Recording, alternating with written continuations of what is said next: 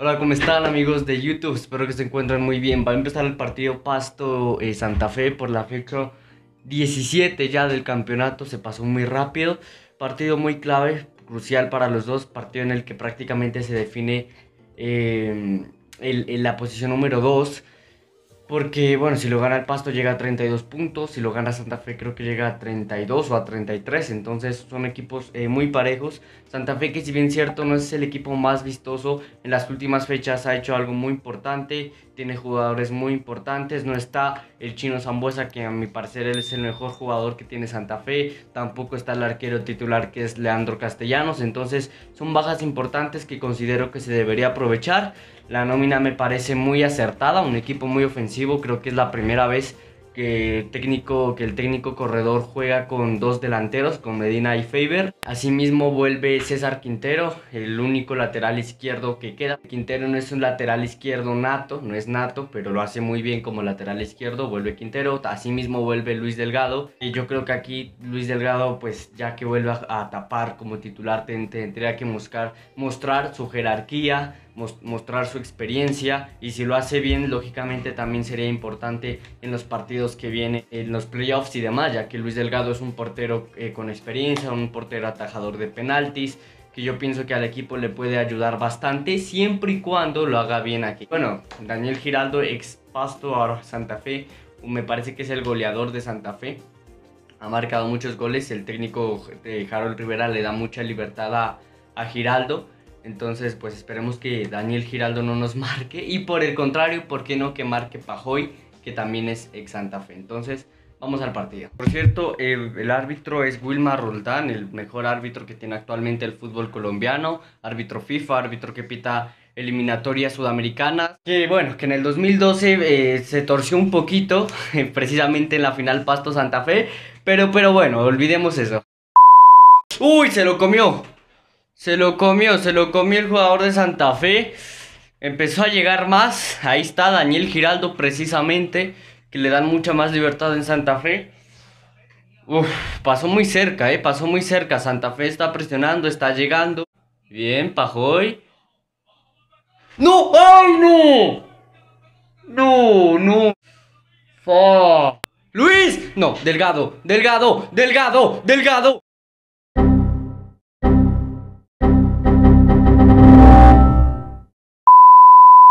No sé, no sé si aplaudirle, no sé si putearlo. Ay, Delgado. Salió del área y tapó el balón afuera del área. Complicó Delgado, lo empezó a marcar mucho el delantero.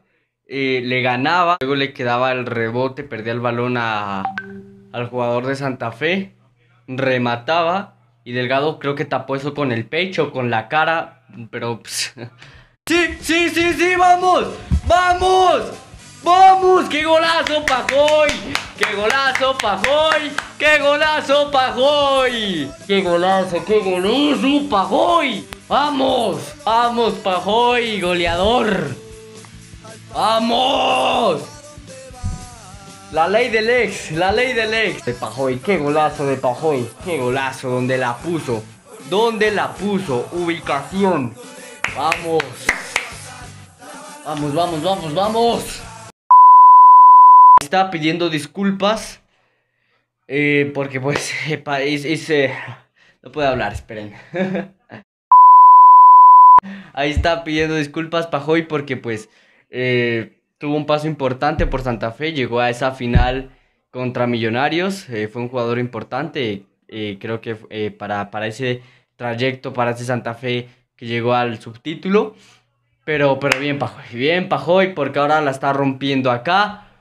Y qué golazo que se mandó Pajoy. ¡Vamos! Pajoy es zurdo. Y lo hizo con la derecha. Y qué golazo, en serio. ¡Qué golazo! El gol me, parece que es un gol aislado, ¿no? Una jugada aislada.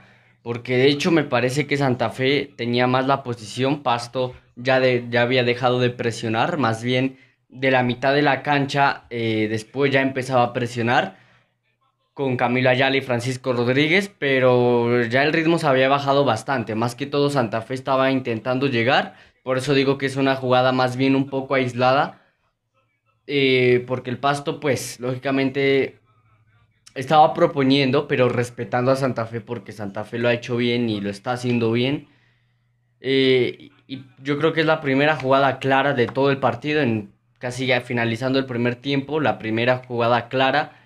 Y la mete Pajoy, lo hace bien, Pajoy, definición, lo define muy bien. El Pasto empezó a llegar mucho más después del gol, empezó a llegar, empezó a atacar muchísimo más. Snyder, Mena y John Freddy Pajoy, en serio que, por lo menos en mi concepto, son los mejores jugadores que tiene actualmente el equipo. Son jugadores que siempre son determinantes, que siempre en todos los partidos hacen presencia, o ya sea dando una asistencia, o marcando, o desequilibrando. Mena ya tiene una asistencia, Pajoy ya tiene un gol, son jugadores importantísimos. Ya se terminó el primer tiempo, que es un buen primer tiempo, eh, con un, frente a un Santa Fe fuerte, porque si vemos las, las estadísticas, aquí las estoy viendo, Santa Fe tiene el 56% de posición, Pasto el 44%, eh, Santa Fe ha hecho 220 pases, Pasto 179.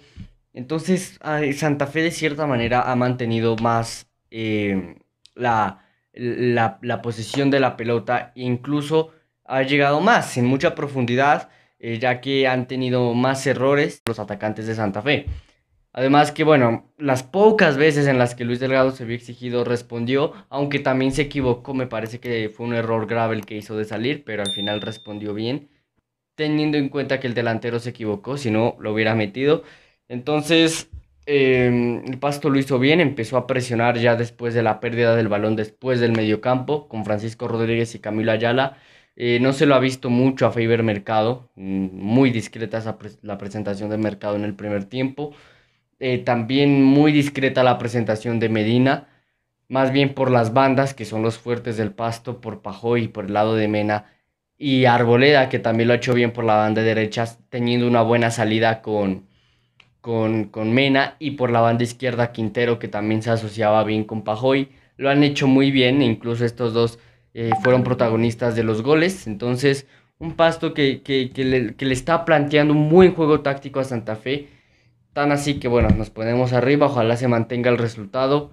Eh, yo creo que el segundo tiempo va a ser poquito más de lo mismo, incluso resguardando más el marcador. Parece que es un resultado eh, justo, no justo en el sentido de justicia, sino justo en el sentido de que es apretado.